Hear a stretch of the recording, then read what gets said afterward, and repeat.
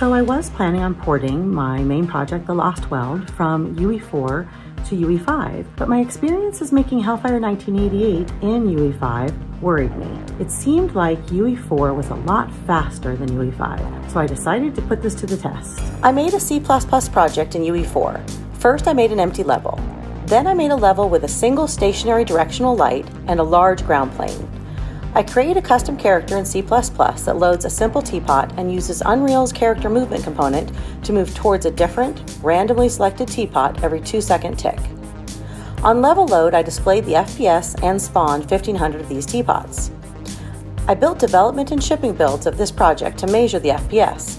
Then I took the same project, converted it to Unreal Engine 5, and measured it the same way. In part 2, I'll show you the results. Here you can see the FPS on the shipping build of my Unreal Engine 4 test project.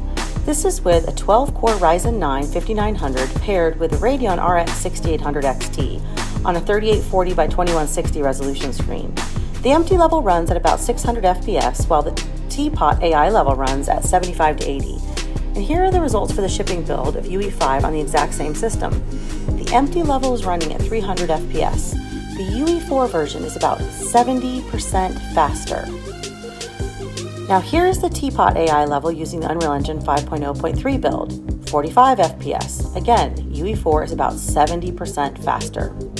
I put this project on GitHub so you can play with it on your system.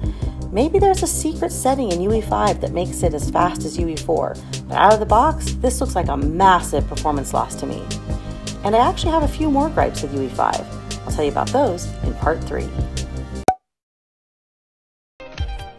So we've seen how Unreal Engine 4 was 70% faster than Unreal Engine 5 for the exact same project.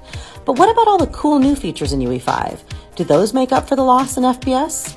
Maybe, but consider this. Many of those cool UE5 features won't work for many players. For example, Lumen doesn't work on Mac OS X or mobile. Nanite and Virtual Shadow Maps also don't work on Macs or mobile devices, nor for Windows users not using DirectX 12 or Vulkan. Speaking of Windows, UE5 completely dropped support for Windows 7. It might be easy to assume that everyone is using the latest gear, but the latest Steam survey shows that about 4% aren't on Windows 10 or 11 and about twice that many don't have DirectX 12 video cards. And the real loss to your player space is likely much bigger since Steam survey takers don't reflect the average gamer. But there's more. If you're a Blueprint developer, you lose the ability to use Blueprint nativization, which means the FPS slowdown could be much harsher for you than C++ does. But what bugs me the most about UE5 is the two features I wanted most are missing. Number one, I wanted better documentation. And number two, I wanted fewer engine crashes. I didn't get either. So that's why I'm sticking with UE4 for the Lost Weld. I'd be really interested in hearing what you think.